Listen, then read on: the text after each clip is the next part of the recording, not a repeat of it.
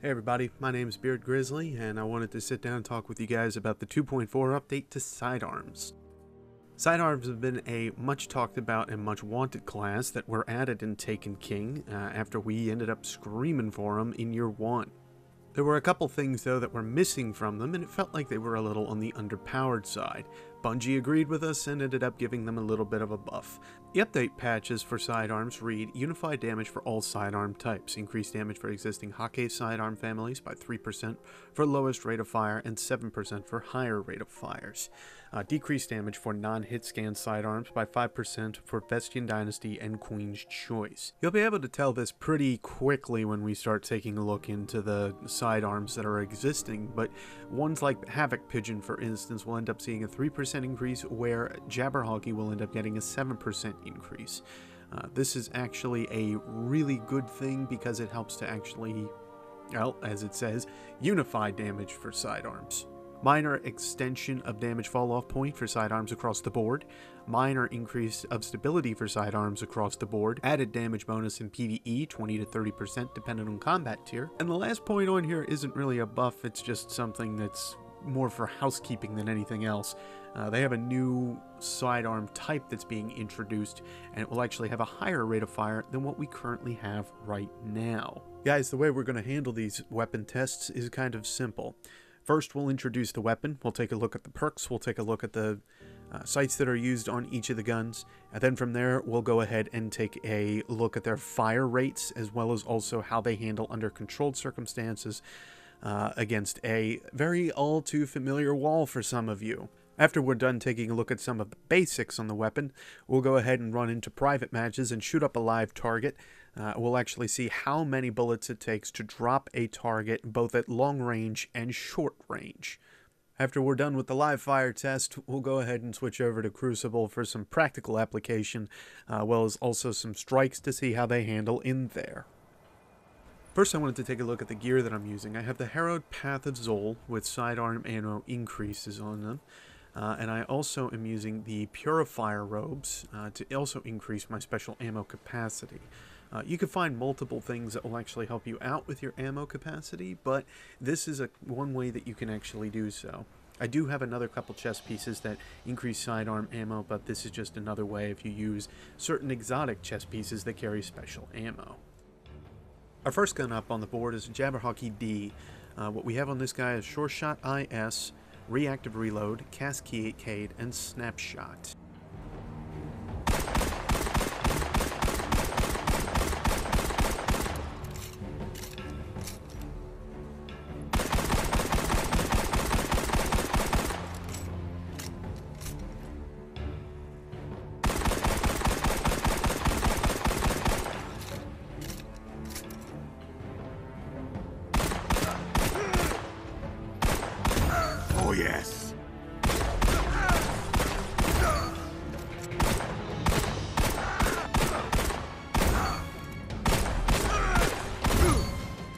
Jabberhakke has actually turned out to be one of my favorite sidearms. Uh, it seems very dependable in a lot of different situations. Uh, I can definitely count on it. Uh, it switches quickly even without the, uh, the use of quick draw, uh, which is easily one of my favorite sidearm perks that are out there. You'll be able to go ahead and cut down a couple enemies with your primary, switch over to it, and it again, it just seems like it picks up very quickly uh, with that Sure Shot IS.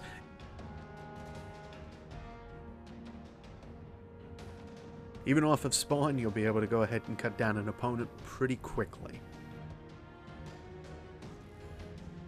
In PvE, no real difference. I feel that the weapon is very stable. I feel that it has a lot of very practical application. Uh, overall, it definitely feels solid, it feels stable. But the Jabberhawk has kind of been one of the favorites for many people, uh, only because it was one of their first ones that they got a hold of in the Taken King. I find with the Sure Shot IS, I'm able to find a target's precision spot and really, really exploit it uh, to the best of what the gun has. Just remember not to sit back and try to fire at long distance. Next up is the Havoc Pigeon. This one also has Sure Shot IS, but it also has Rangefinder, Outlaw, and Quick Draw. So you'll be able to notice as we go along here that I'm able to draw this weapon quite fast.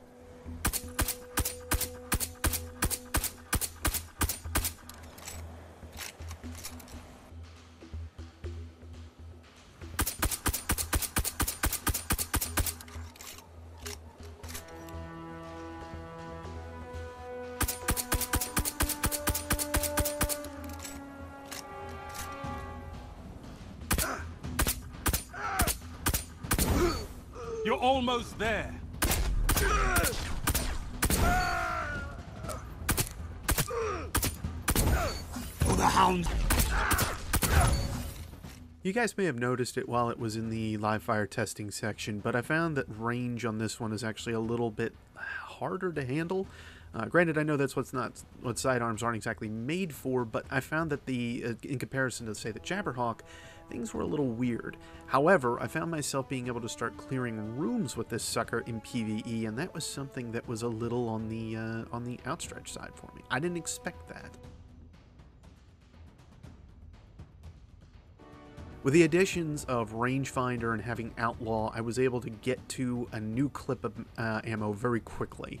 Again, it seemed pretty easy to end up finding a target's weak spot and really exploiting it, uh, thanks to that Sure Shot IS. Uh, and even if I go ahead and die and I come back, I'm still able to go ahead and clear a room with this sucker pretty effectively and pretty quickly.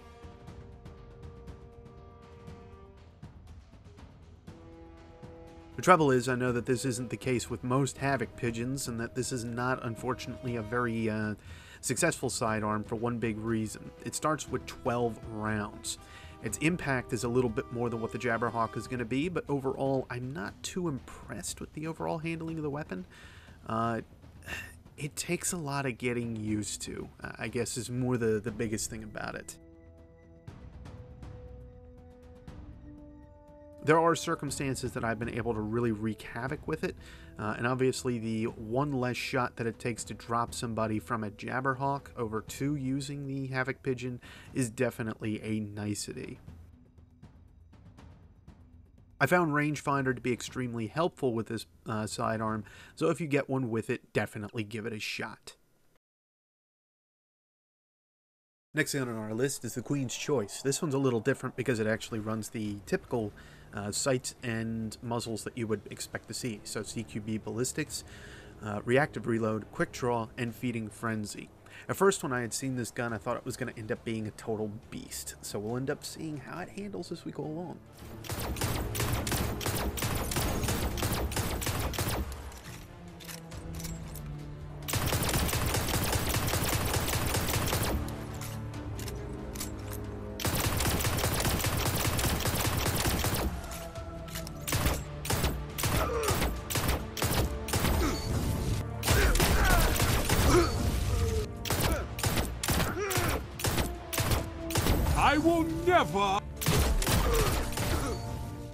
Choice is one that I really expected to like quite a bit, but unfortunately I didn't.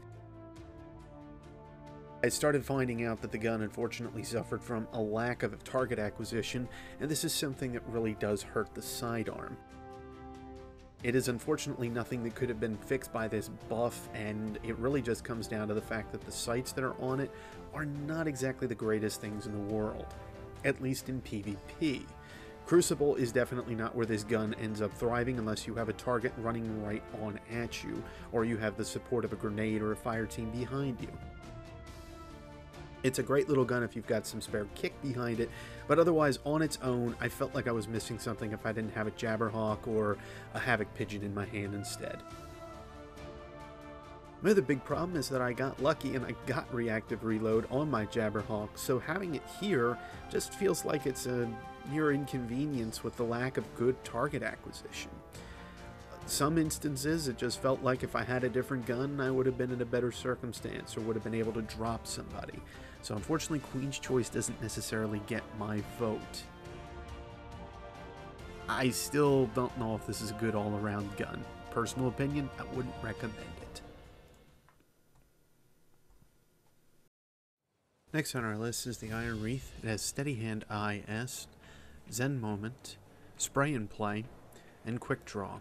It's not quite the role I'd like to have, but it's still pretty stable nonetheless.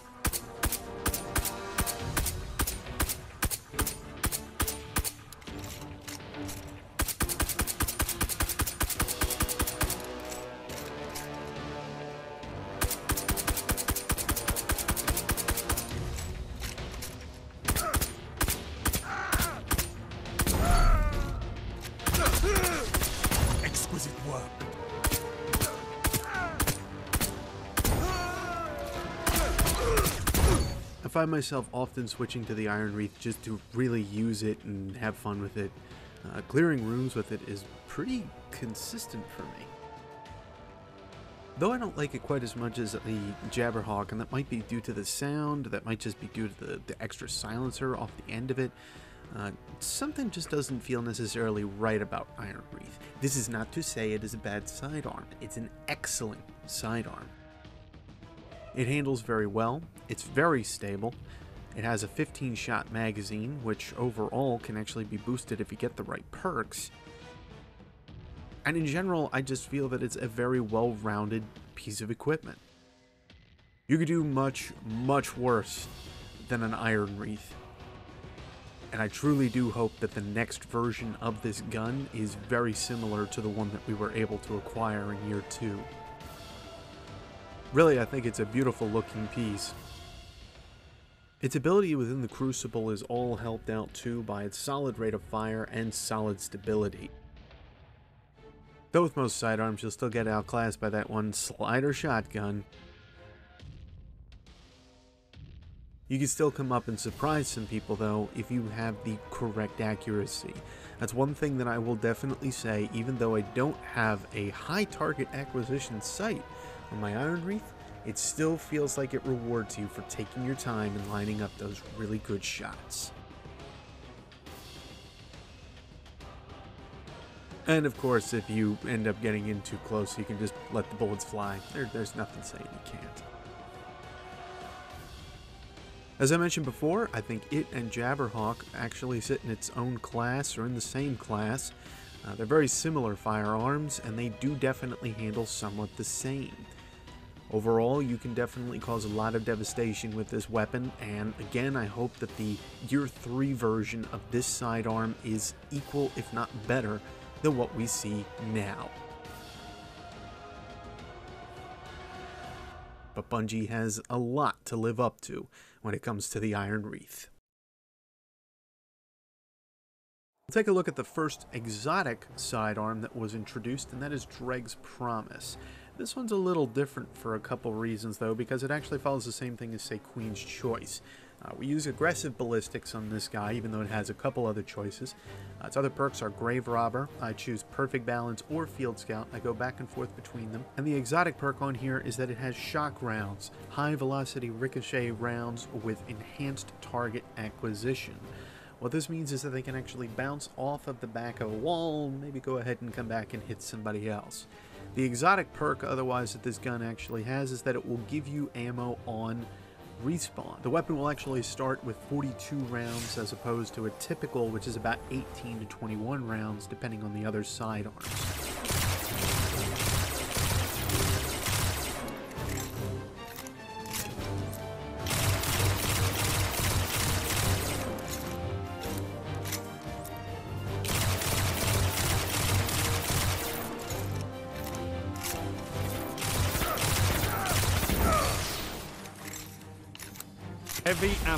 Available.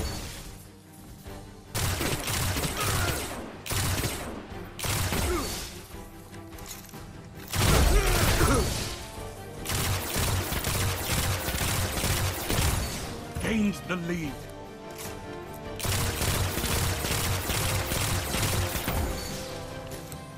Dreg's Promise is my favorite sidearm in the game at current. Uh, I know it's an exotic and it does take up that exotic slot, but personally, I think it is worthwhile. The amount of damage that it can actually pump out on a target is incredible, uh, as you'll end up seeing even with supers, and while they are active, it can end up cutting down somebody in a super very quickly. The one thing it's not too great at is its range. With having a three round burst, you can actually go ahead and cut through your ammo pretty quickly, and with its range suffering a little bit more than the typical sidearm, this is something that can kind of hurt it. If you continue to come up onto a target, things don't seem to be that bad, but overall, you need to continuously make sure that you are replenishing your ammo and making sure that you have enough for the next engagement.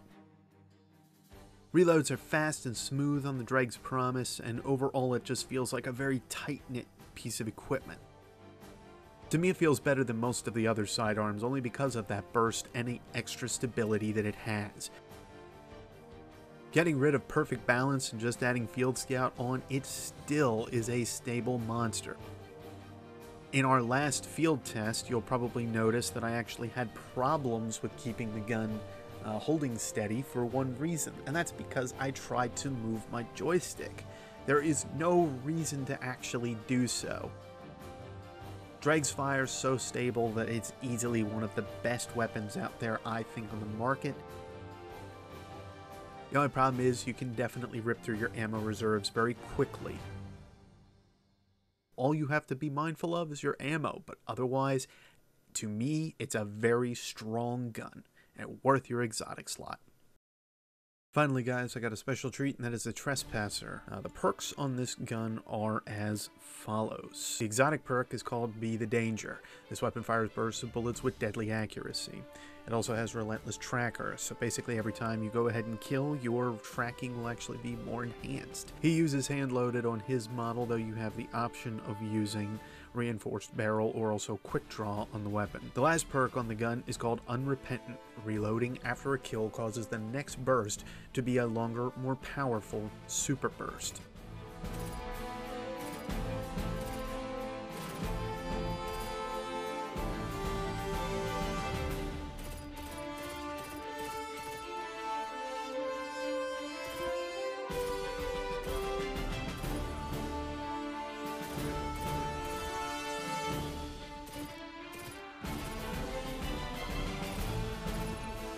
As a reminder, guys, the only way we can get Unrepentant to proc is if we go ahead and kill somebody and then reload afterward. So we called in a buddy of ours, Umbrella Fiasco, where Green is going to head and kill him before he kills me.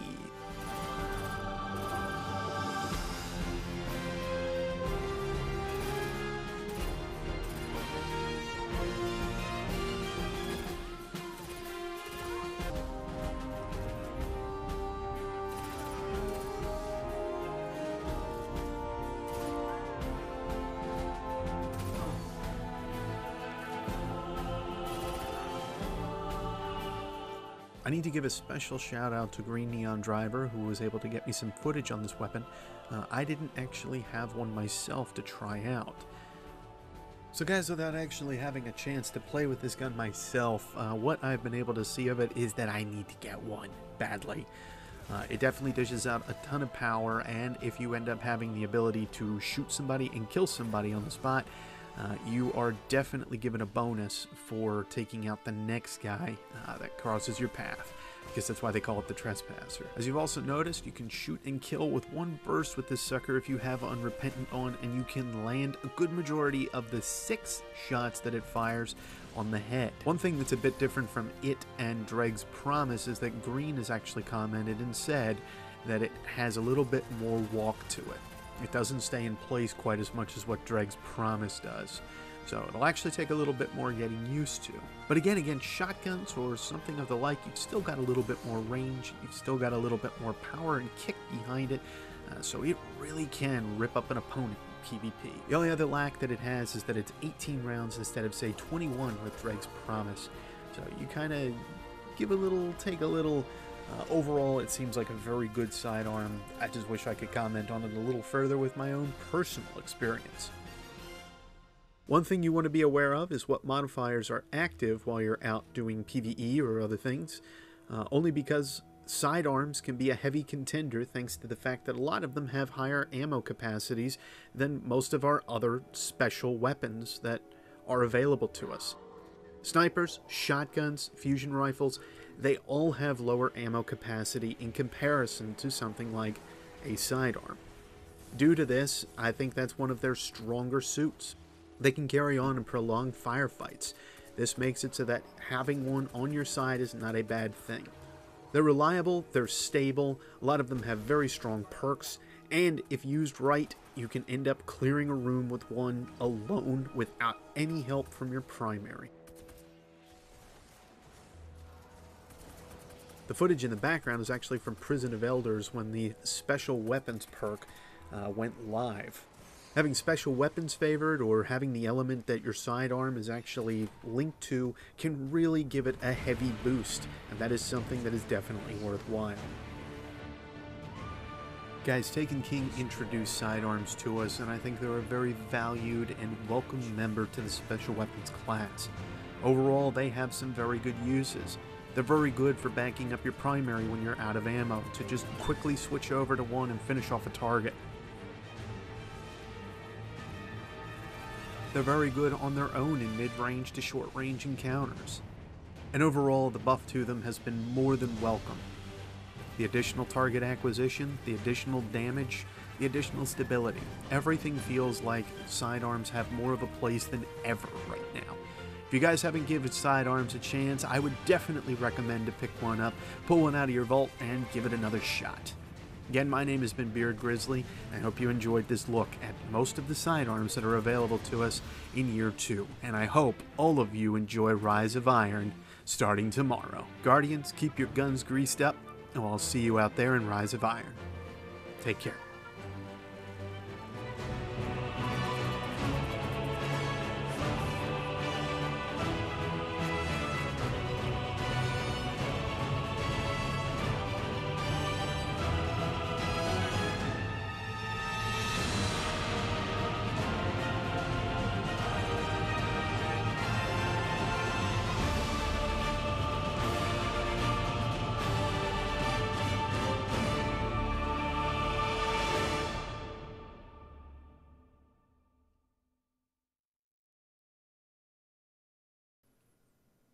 Oh, you're still here? I guess he can check out this sweet Nova bomb. There's nobody on Alpha. Yeah. I can't believe what I'm seeing. Gains the lead. You're still here? Well, you ever wonder what Variks sounds like as a chipmunk?